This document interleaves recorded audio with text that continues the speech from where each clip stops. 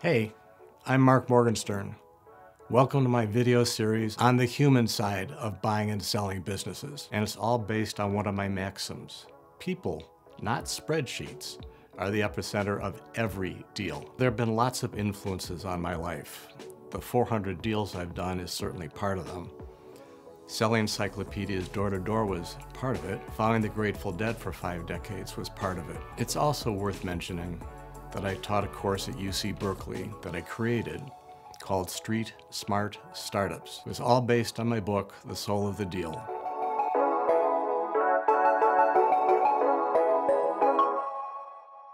Today we're going to talk about what I think is the single most important lesson I can share. It's a mantra.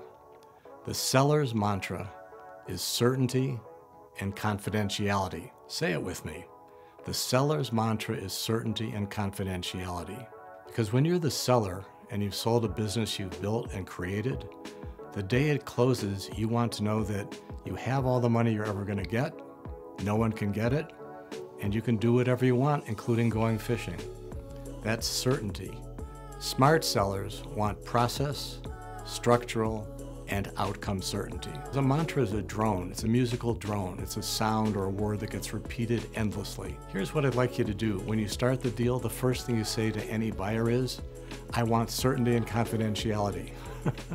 and then about every two hours you say, did I mention that I care about certainty and confidentiality? And you set the stage. Most people selling their own business are doing it for the first time. They're rookies. And we all know what happens to rookies. They make mistakes. You'll have to live with that and surround yourself with people who are more experienced. Your real fear is that the buyer will also be a rookie. All of those things impact the certainty of whether a deal will or will not close. And so you ask the buyer all of those questions. Do you have the cash? Do you have the authority? Do you know what you're doing? And don't be uncomfortable, just ask them. Every seller's maximum leverage point is when they sign a letter of intent. That's a very short document that outlines the essential terms of a deal, and they range from two pages to eight pages. If you're a seller, you want the eight page, not the two page, because the two page says almost nothing. You want an eight page letter of intent, and it's incredibly detailed. Who's going to pay what? When do I get it? Are you keeping my employees? When can you talk to my customers? It's every aspect of certainty. When will you close? What documents will you provide me? What due diligence do you require? What documents do you need to see?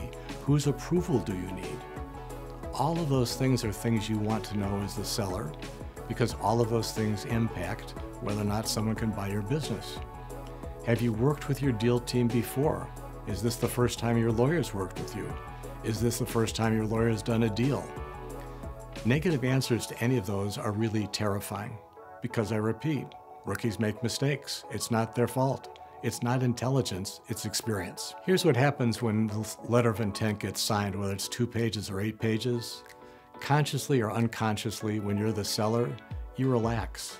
You sort of think to yourself, okay, I've got this deal, it's great, here's all the money I'm gonna get, I can go to the Bahamas. You act as if the deal has already closed, and it really hasn't even started because now there are going to be weeks and weeks of people going through your files, people doing due diligence, going through records, getting a 60 page agreement. And in all of those events, there are economic variables. And since you've already decided you sold the business, you don't really have the strength you had at the beginning. You reduce the value of what you're getting almost every single day because you lose the will to say no. It's hard. It's very human but you want to give yourself the maximum chance to not fall into that trap. So the eight page letter of intent spells out so many details that you don't have to worry if the buyer's lawyer is going to run amok in the definitive deal documents. If they take your two page letter of intent and turn it into 60 pages, they have a lot of territory to explore and they will probably explore it.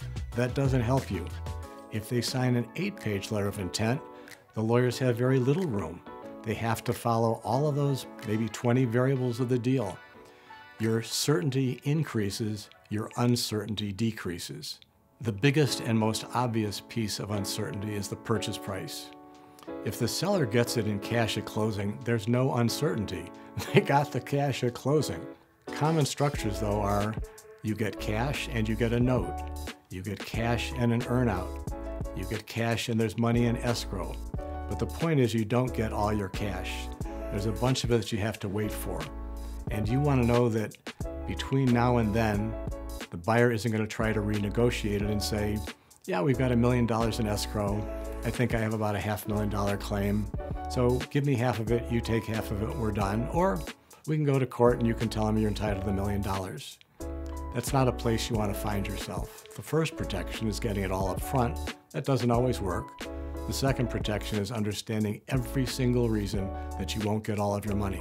The bottom line is most buyers would like to buy the assets of the company and assume specific liabilities.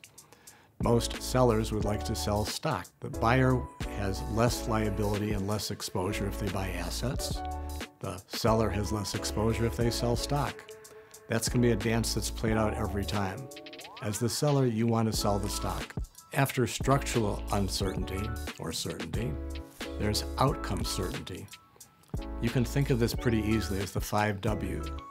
I want to know who's paying me, what will they pay me, when will they pay it to me, why will they pay it to me, and what could possibly prevent that from happening.